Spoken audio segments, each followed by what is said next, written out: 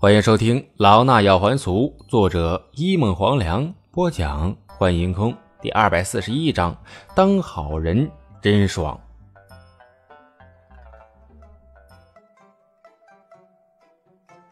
第三天、第四天、第五天，一周后，早上扫街的时候，刘代芳遇到了另外一个环卫工人，对方是一个头发有些花白的大爷。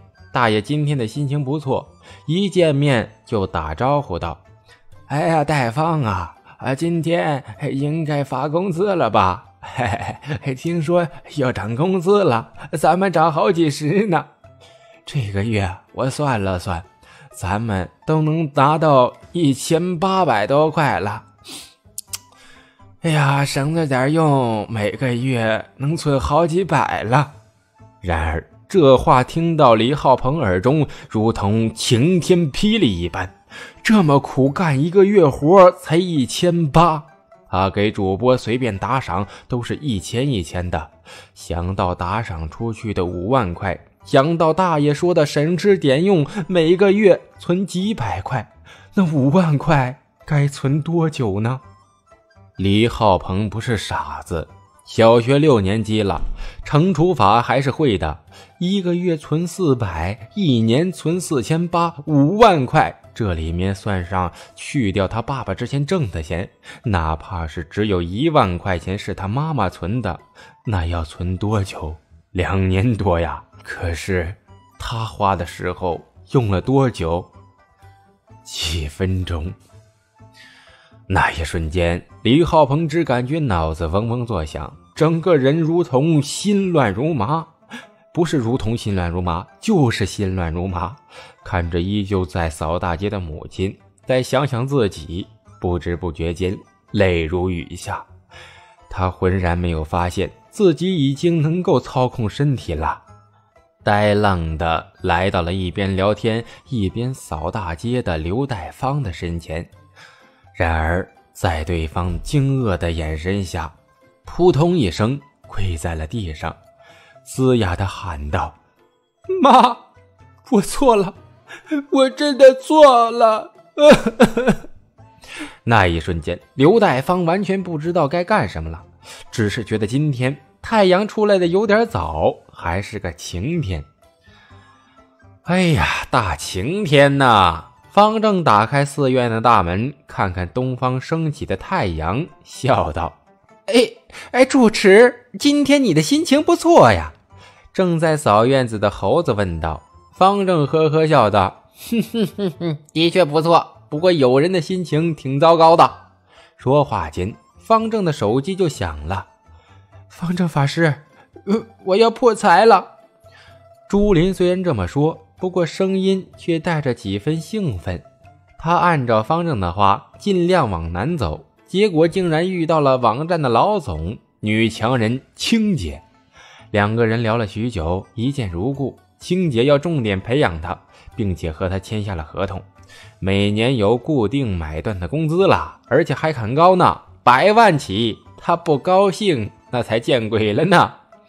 方正呵呵笑道：“嘿嘿嘿嘿。”要不是你破财了，把贫僧的话还给贫僧，如何呀？哎，别，大师，我错了。那个啥，钱啥时候打过去啊？我都催了你好几天了，你也不急，孩子他妈妈肯定急了。朱林赶紧认怂。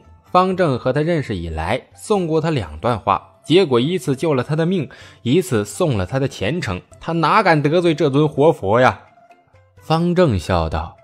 那是你积德行善的结果，哎，贫僧也就是适逢其会而已。至于钱嘛，可以还了，怎么还就需要你自己费脑筋了。贫僧不擅长这个。好了，要吃饭了，Goodbye。说完，方正挂了电话。电话另一边，朱林气得直跳脚，弟子也没有一个，你让我上哪找还钱呢？坑人的大师。虽然抱怨。不过朱林还是赶紧行动了起来。以前知道行善心安，现在行善还能走大运，他实在找不到不做好事的理由。朱林盘算下，对方是松武县的环卫工人，那么去环卫工中打听一下，应该很快就能找到对方了。于是立刻行动了起来。当刘代芳收到五万块钱的时候，竟然一把推了回来。朱林愕然道：“阿姨，你这是干啥呀？”“你是一个好孩子，这是你应得的。这些钱虽然多，但是比不上我儿子呀。我儿子经历了这一次的事情，长大了，我的生活也有盼头了。不就是五万块钱吗？阿姨还年轻，在赚。”刘代芳无比高兴的道。朱林笑道：“阿姨，你觉得我很老吗？你都能赚，我干嘛不能赚呢？这钱呀，你得收回去，要不然我会被骂死的。掉粉了，那就损失大了。您就当行行好，收了吧。”朱林嘴巴会说，三言两语就把那个刘代芳啊给说活了，好像不收这钱是坑朱林似的。无奈之下。刘代芳只好收了，不过他也明白，眼前的女孩子是好人，于是连连道谢。朱林都走了挺远了，回头看去，刘代芳还站在那里向他挥手呢。这一天，朱林的直播间有一句话：“我发现做一个好人比找了一个男朋友感觉还爽呢。虽然我一直都没有男朋友。”方正收到朱林的消息后，哈哈，满意的笑了。恭喜你又做了一件好事。系统道，方正道，没有奖励的恭喜，那都是耍流氓。系统干无语了。随着一指寺的名气大涨，前来一指寺烧香的香客是越来越多，方正每天收的香火钱也是越来越多。毕竟不是所有人都只投一两块钱的。入夜，方正看着小床上的一叠叠钱，眼睛都笑弯了。好看吗？谢统问。方正点头道：“嗯嗯嗯嗯嗯，好看。看够了吗？”系统问。哼，没有。